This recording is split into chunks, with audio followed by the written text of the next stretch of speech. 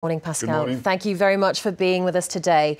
Uh, let's start with Brexit. There's only six months to go uh, until the UK's divorce, yet the talks are in deadlock.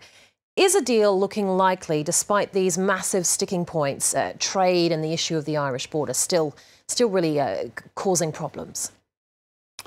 Well, depends of what deal are you talking about. There will be a deal between Europe and UK for the exit. The problem is whether this deal will pass the House of Commons in roughly in November, December, when it's there. So I have no doubt that there will be a deal between us and the British. Whether there will be a deal among the British, between the Remainers and the Brexiters, that would gather the necessary majority in the House of Commons is much more doubtful.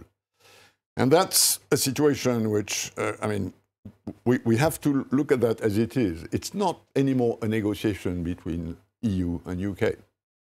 It's a negotiation within UK on how much do we exit economically.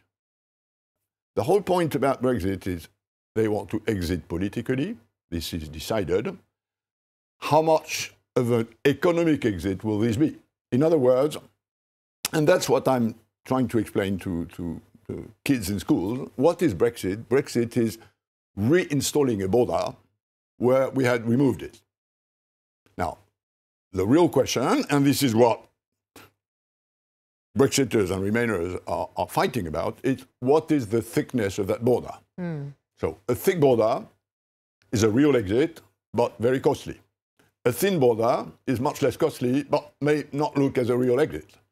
So how do you exit politically without exiting too much economically because it's costly.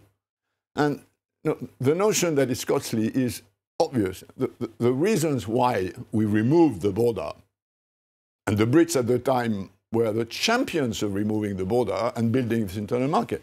We removed it because it was more efficient. So reinstalling that is less efficient, hence costly. How much of this cost? That's the whole point.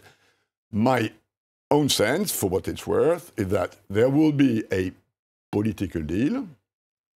They will exit in March politically, and it will take some time before how much they to hammer out a deal economically econo- economic, Yeah. economically is what I'm trying to say. Well, given the stalemate, there have been rumblings of a second Brexit referendum on the cards. What do you think is the likely, likelihood of that happening?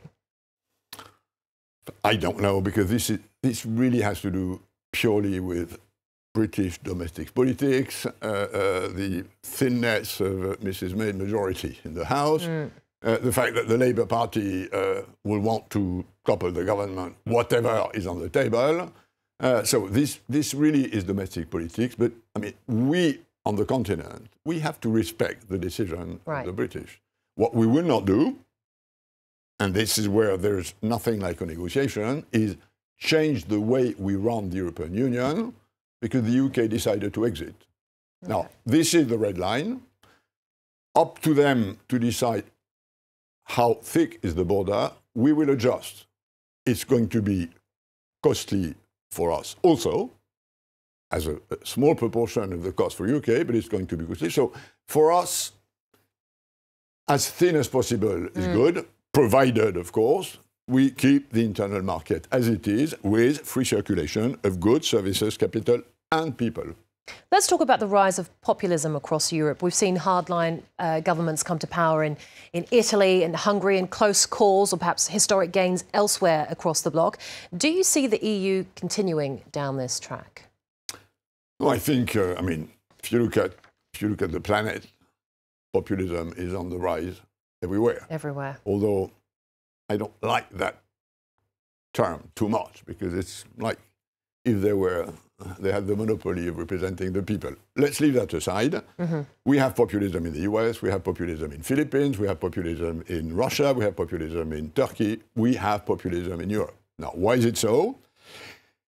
My the main reason behind that is that uh, the speed of change in terms of technology, in terms of openness, in terms of migration, is larger stronger than our cultural capacity to adjust to that, at least for part of the population. And I think there is behind this an, a, a sort of economic and social problem. Our economies have become more efficient, more open, more volatile. Uh, there'll be more winners and more losers. And in the meantime, social safety nets that had been built to take care of the losers have shrunk. So we have a serious social problem which creates anxiety uh, uh, and, and populists are surfing on that. There is, on top of that, a more complex cultural problem. Whether the solution to that is going back to the nations or keeping moving Europe forward, I have no doubt that there are roots to populism, but the way to address these roots is not back to nationalism. Mm. It's to reinforce the place of Europe in this planet and making sure that you know, in 20 or 30 years' time, we were not either Americans with their hypercapitalism or Chinese with their state system. Okay, Pascal Lamy, thank you once again for your time. That was Pascal Lamy, former Director General of the World Trade Organization.